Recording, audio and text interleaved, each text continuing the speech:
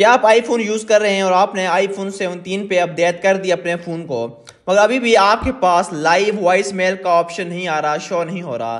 तो इसके लिए आप क्या कर सकते हैं? सिंपली आपने सेटिंग में जाना है। सेटिंग में जाने का थोड़ा सा स्क्रॉल डाउन करना है और यहाँ आपने जनरल में जाना है। जनरल में जाने का थोड़ा सा मजीद स्क्रॉल डाउन करें आपको लैंग्वेज एंड रीजन मिलेगा, इस पर आपने ओपन करना है। अब जो लाइव वॉइस मेल का ऑप्शन है, ये फीचर आईफोन का जो सिर्फ़ और सिर्फ़ दो कंट्रीज़ में इनेबल है। एक यूएस में, दूसरा कनाडा में।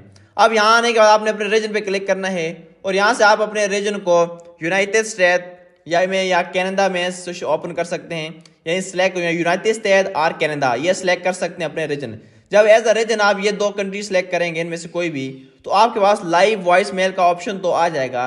मगर उसके बाद जो कुछ फीचर हैं आईफोन के, जो कि इन दो कंट्रीज़ में नहीं हैं, वो आपको नहीं मिलेंगे। तो इस वजह से अगर आप लाइव वॉइस मेल का ऑप्शन चाहते हैं तो आप यहाँ अपने रीजन में आकर यहाँ से यूनाइटेड स्टेट आर्ट के अंदर सेलेक्ट कर सकते हैं। ये करने के बाद आपको लाइव वॉइस मेल का जो ऑप्शन है, जो फीचर है, वो आपको मिल जाएगा।